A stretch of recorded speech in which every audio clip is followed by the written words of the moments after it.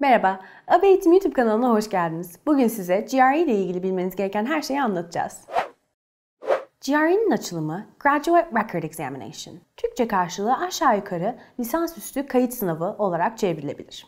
GRE 1949 yılında ETS tarafından lisansüstü hedefleyen adayların seviyelerini belirlemek için oluşturulmuş bir sınav. Yıllar içinde pek çok kez revizyona uğrayan bu sınav 2011 yılında 200-800 puanlama sisteminden 130-170 puanlama sistemine geçti. ETS hala bu revizyonlara devam ediyor.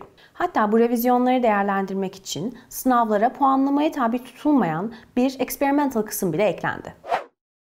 GRE, İngilizce eğitim veren üniversitelerde yüksek lisans ve doktora programlarına katılmak için girmeniz gereken sınavlardan biri. GMAT gibi diğer sınavlardan farkı, ağırlıklı olarak mühendislik ve sosyal bilim dallarında eğitim gören öğrencilere yönelik olması. GRE aslında GRE General ve GRE Subject Test şeklinde ikiye ayrılıyor.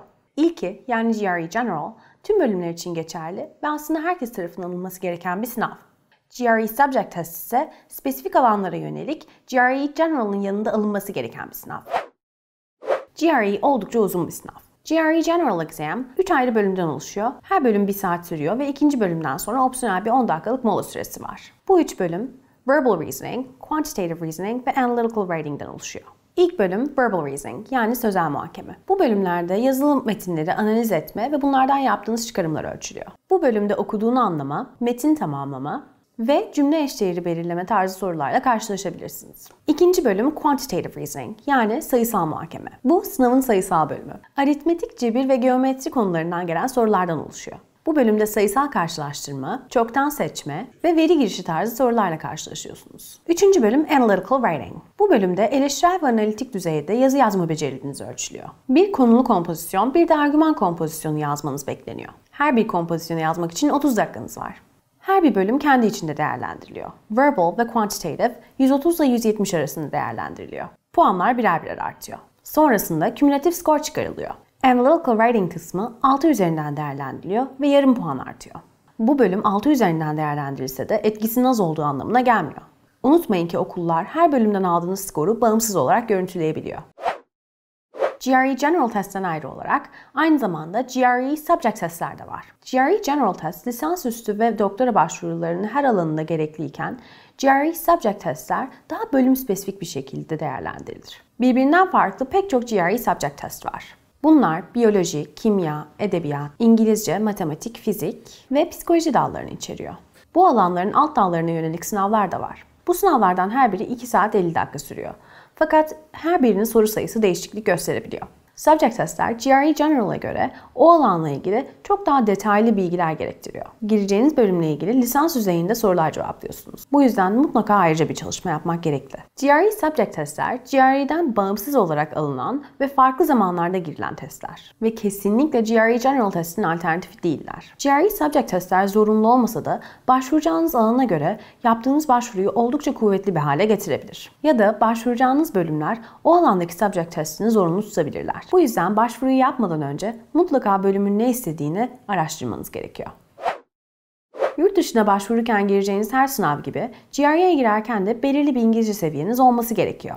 Bu da Upper Intermediate üstü bir İngilizce seviyesi. GRE için yaptığınız çalışmalardan maksimum faydayı sağlamanız için TOEFL 90, IELTS 7 üstü bir İngilizce seviyeniz olmasını tavsiye ederiz. GRE lisansüstü düzeyinde dünya üzerindeki en geçerli olan sınav. Ana dili İngilizce olan Amerika, Kanada, İngiltere ve Avustralya gibi ülkelerin yanı sıra İngilizce eğitim veren dünya üzerindeki neredeyse bütün okullar GRE'yi geçerli bir sınav olarak kabul ediyor. GRE iki farklı şekilde sunuluyor. Biri computer based yani bilgisayar üzerinden yapılan bir test sistemi. Diğeri paper based yani kağıt üzerinden. Ama paper based artık eskisi kadar tercih edilmiyor. Öğrencilerin her 21 günde bir sınava girme hakkı var. Fakat 12 aylık süre içinde en fazla 5 kere sınava girilebiliyor. GRE General ve GRE Subject testlerinin ücretlendirmeleri farklı. GRE General test için ödemeniz gereken miktar 175 dolar. Subject testlerin her biri için ödemeniz gereken miktar ise 150 dolar. Her iki testte de ETS'nin web sitesinden kayıt olabiliyorsunuz. Fakat açık oturumları kontrol etmeyi ve olabildiğince erken bir tarihte kayıt olmayı unutmayın. Oturum yerleri hızla dolabiliyor. GRE'yi geçmek için gereken belli bir alt veya üst baraj yok. Fakat her okulun kendi içinde belirlediği bir profili var. Ortalamanıza ve diğer kriterlere bağlı olarak minimum skorun 130, maksimum skorun 170 olduğu bu sınavdan 160 elde etmeniz pek çok başvuru için yeterli. Sınavın geçerlilik süresi 5 yıl. Ama bazı kurumlar bu süreyi 2 yılla sınırlandırabiliyor. Bu gerekliliği de başvurduğunuz okullara göre kontrol etmekte fayda var. Sınava girmeden önce mutlaka test merkezinizin nerede olduğunu kontrol edin ve mümkünse orayı ziyaret edin. Yanınızda mutlaka kimlik ve pasaportunuz olsun. Onlar olmadan sınava girmeniz mümkün değil. Özellikle computer based sınava girerken mutlaka yanınızda onay belgesi gibi gerekli dokümanları almayı unutmayın. Sınava girerken çok sıkı bir kontrolden geçiyorsunuz ve alyans veya nişan yüzüğü dışında herhangi bir aksesuara izin verilmiyor. Sınava girerken kağıt kalem almanıza gerek yok. Hatta bu yasak. Test alanına yarım saat önceden ulaşmanız gerekiyor.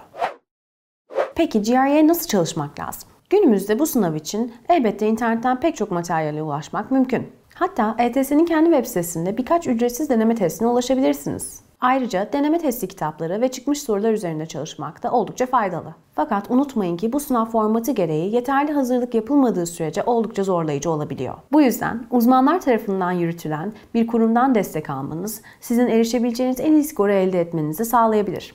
GRE ile ilgili sorularınızı yorumlar kısmına yazabilirsiniz. Bizi sosyal medya üzerinden takip etmeyi ve Ava Eğitim YouTube kanalına abone olmayı unutmayın. Hoşçakalın.